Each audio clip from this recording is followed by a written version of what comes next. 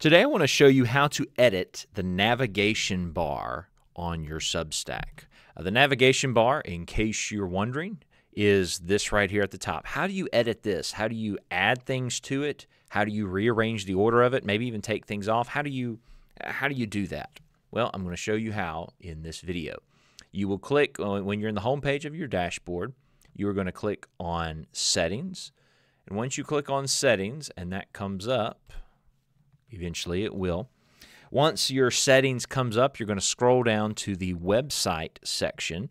And here where it says navigation bar links, add or remove items from the navigation bar at the top of your website. That's exactly what we want. So we are going to hit, in this case, we want to add something. So we're going to hit add. The title of it I'm going to add is going to say YouTube. And then I'm going to come over here to my YouTube channel. I want this to be a link at the top of my Substack.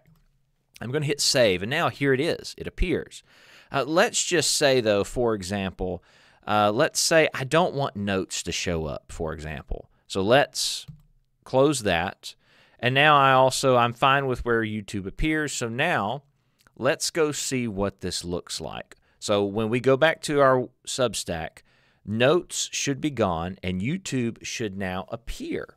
All right, so let's click on the home of our Substack. And there we have Notes is gone. And in its place now, YouTube is sitting there. If someone were to come to this Substack and they were to click on YouTube, it should bring me to my YouTube homepage, which it's taking a minute, but here it comes.